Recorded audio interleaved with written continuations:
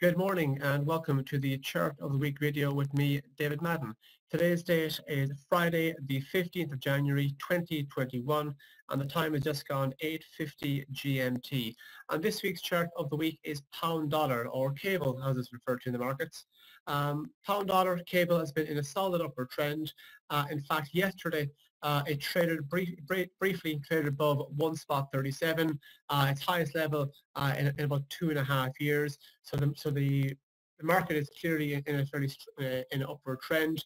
If we continue to press on higher from here, we could be looking at heading back up towards one spot 37.92, a level last seen in April um, 2018. So we could be heading back towards one spot 37.92, and if we go beyond that, the next big number to the upside will of course be 140.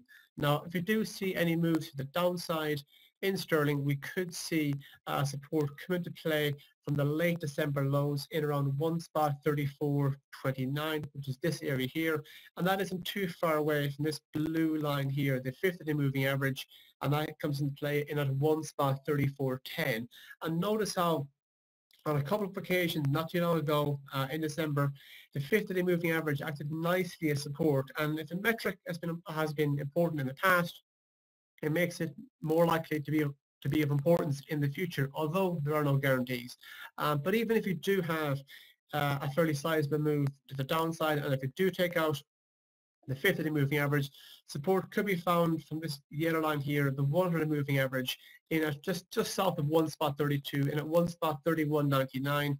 Similar scenario that that metric acted uh, nicely as support back in early November.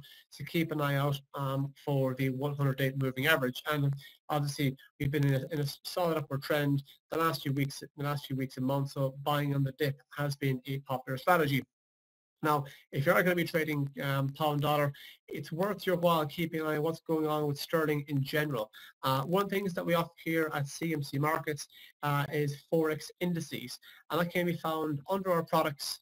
Uh, head down, to, down further in the list, Forex indices, and it's the same premise as the stock market index, but it's for currencies. And if you take a look at what's going on with the CMC GBP index, the sterling index, we can see that broadly speaking, since the lows of mid-September has been in a, up, fairly solid upward trend. In fact, yesterday, the highest that we saw yesterday, um, hit its highest level since September um, since September uh, 2020. So sterling as a whole is in upward is in an upward trend. A moment ago, we took a look at the um, at the a moment ago we took a look at the pound dollar trend, which is which is clearly trending higher because it hit its highest level in over two and a half years.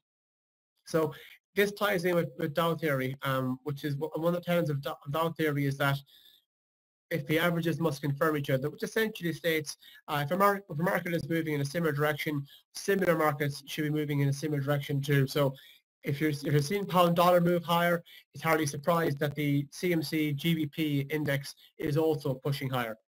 Now, if you're going to be trading pound dollar, or to be honest, any of the kind of major currency pairs today, uh, it is worth noting that at half one, we have a couple of important economic announcements from the US. Uh, sorry, I said half one, 1330 GMT. Uh, we have the US Empire Manufacturing reading for January, and we have the uh, US retail sales reading for December, which will obviously be the all-important month, being Christmas. Uh, traders will be wondering how much internal demand has there been in the all-important uh, month of December.